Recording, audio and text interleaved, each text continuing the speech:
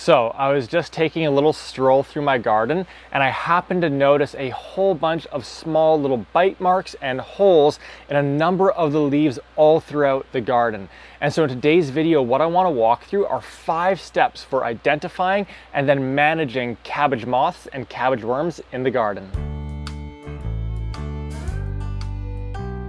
Now, as we get started here, if you have any questions whatsoever, just leave those down in the comments. I start every one of my days having a cup of coffee, sitting on the couch, and answering every question that we receive on YouTube. So you're gonna get a response from me super quickly. Now, as is the case with all pests and all diseases, we don't want to be jumping directly into actions and conclusions, but rather we first want to take a little bit of a step back and utilize the five steps of integrated pest management. And the very first step is always identification. And so with cabbage moths and worms, the first telltale sign that we're looking for are small bite marks and holes in the leaves on our plants. And this is primarily going to be on our brassicas, such as broccoli, cabbage, cauliflower, or our kale plants. Now I'm gonna explain where those holes come from in just a second, but as we notice those holes on our leaves, we also want to take note to see whether or not we are spotting any dried up slime.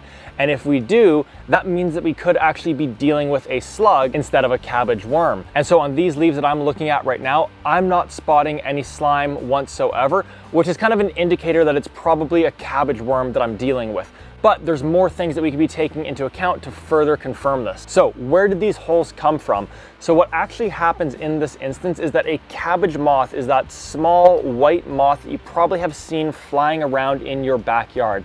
And what it does is it lands on the backside of a leaf. And once it's on that leaf, it's leaving a small little white egg on there.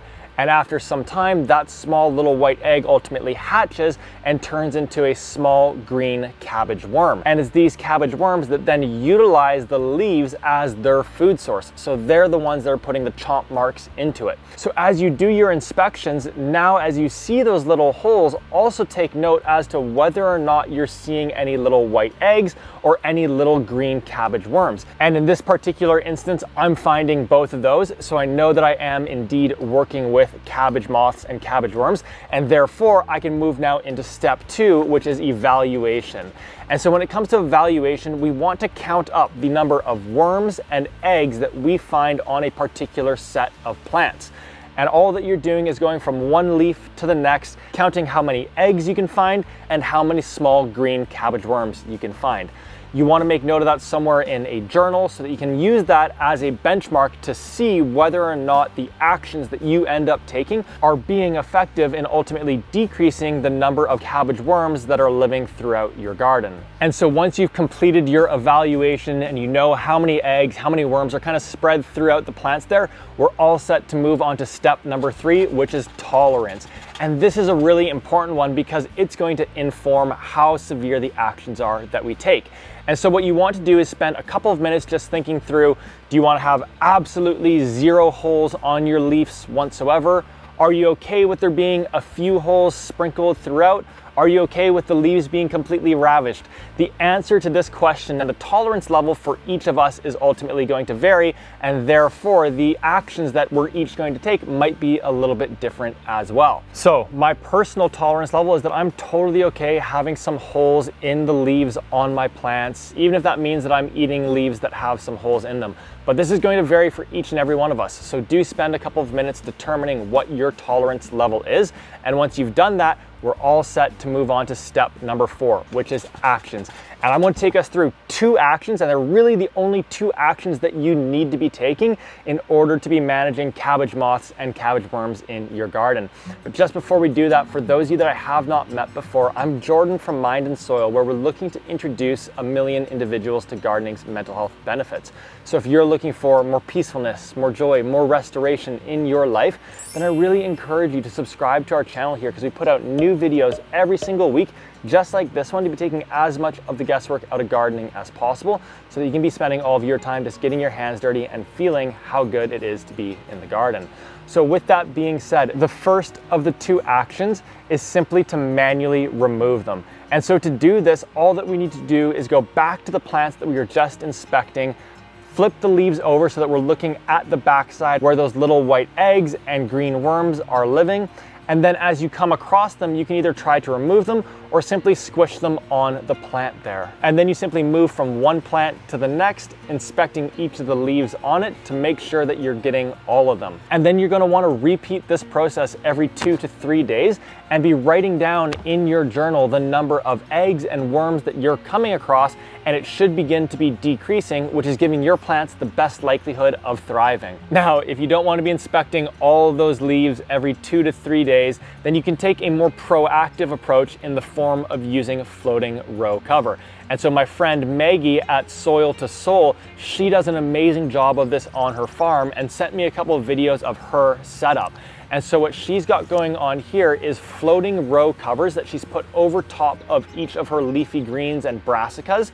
And what this is doing is creating a physical barrier that is physically preventing that cabbage moth from even being able to access the leaves where they would then be trying to leave that egg.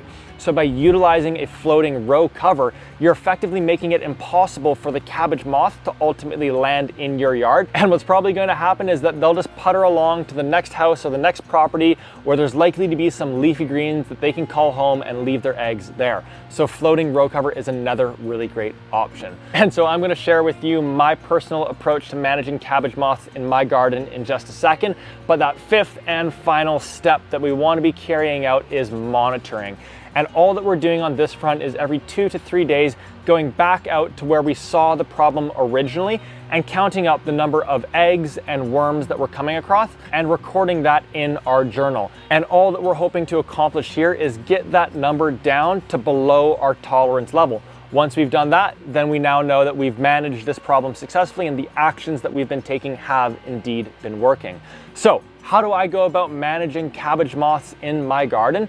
Well, beginning with my tolerance level, I'm totally okay with there being some holes on my plants and I just kind of understand that's gonna be part of the process here. And on top of that, I love spending 10 to 15 minutes just kind of pitter pattering throughout the garden, looking at the back of the leaves and then squishing any of the little eggs or the little worms that I come across.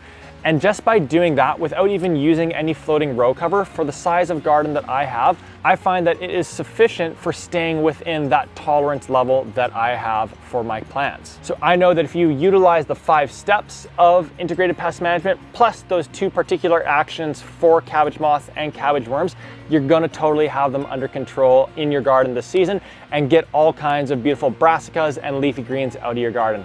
If you do have any questions, leave those down in the comments. Other than that, I can't wait to catch you in the next video. Go get those hands dirty, and I'll see you soon.